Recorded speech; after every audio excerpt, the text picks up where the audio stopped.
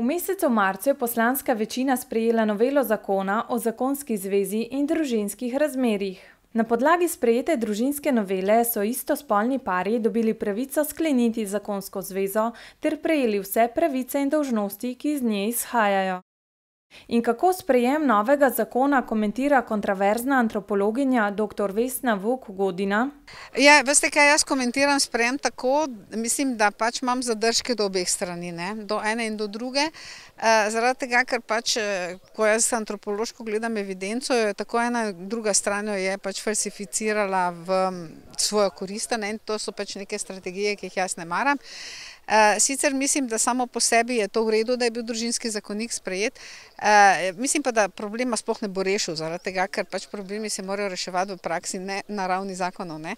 In v praksi pa mislim, da se zna zgoditi, da je sprejetje tega zakonika nekatere probleme celo zaostrilo, ne pa jih rešilo, a ne. Preverili smo tudi, kako sprejem zakonika komentirajo nekateri mimoidoči. Kako bi po vašem mnenju morala izgledati prava družina?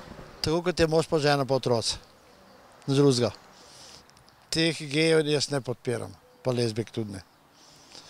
Saj niso sami krivi, ampak vseeno. Ja, jaz tako menim, da recimo jaz nimam in s komur se pogovarjam, nič nimamo proti drugače usmerjenim, samo nismo pa za to, da bi posvajali otroke, ker bi otroci bili s tem že zaznamovani, že v ranem otroštvu, kar pusti posledice za, lahko za celo življenje.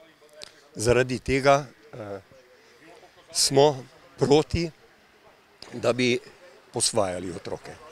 Samo zaradi tega, drugače pa proti njim nimamo ničesar. Janez Oblak pri povedanem še doda. To je zdaj ta Združena levica, treba pa se je vprašati, ko je, dokler je bila bivša Jugoslavija, torej juga, vemo, kakšen odnos so imeli do, do drugače usmerjenih.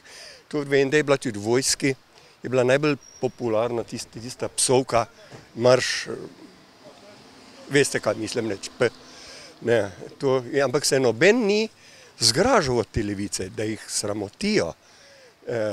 O njih so jih tudi zapirali. Jaz sem imel enega prijatelja, že pokojni, ki je bil policaj, pa je bil v interventni tej policiji, ki so hodili na pretepe in to, in je rekel, da je za enega, da je najbolj hecno eno doživetje, kdaj jih kličejo občani, da se nekje zbirajo drugače usmerjeni in so jih pretepali.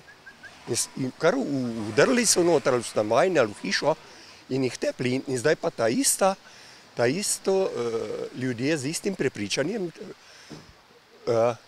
pa tak, tak obrat, da hočejo pa še otroke dati, jaz tega ne razumem, da se človek tako spremeni. Če ne bi mi tega zakona sprejeli, ne, kaj bi bilo, ne. Kaj bi pa zavladalo? Pedre pa buzerante. Ne. Ampak jaz mislim, da je to kar prav, da smo mi tu, da se to tako, tako je bilo in tako mora vsaj, ne moreš ti otroka zdaj narediti, dva, dva istospolna in ne more imeti, kako bodo imeli otroke, no. Kako boste dve ženske imeli otroka, ali, mislim, naredili otroka ali pa dva moška, saj to ne more, to je bilo in bo, to je življenjsko, ne.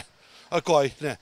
No, zdaj, oziroma danes v tem novejših cajtih je več možnosti, ne, je lahko izveprovet, je lahko tako, je lahko drugače, ne, ampak dva istospolna pa ne moreta imeti. Franc Oražem spregovori še o tem, kako bodo po njegovem mnenju otroci istospolnih partnerjev sprejeti v družbi. Jaz mislim, da kakor je ta svet napravi, da da bodo s prsti kazali, to je potek, potek, glej. Tako si jaz predstavljam, ne vem. Ne moremo mimo dejstva, da je zakon sprejet. Čas pa bo pokazal, ali so posledice sprejema družinskega zakonika pozitivne ali negativne.